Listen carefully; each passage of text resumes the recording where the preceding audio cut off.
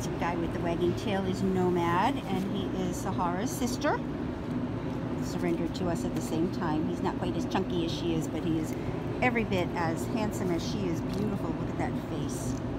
Mr. Nomad. Come here. Come here, you. Come. Come here. Definitely seems to be house trained. Hi, smooshies. Want to play? Before we go for a walk?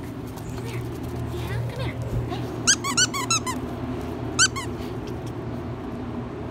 Absolutely. Both dogs are just so beautiful. They really are. They've been beautifully taken care of.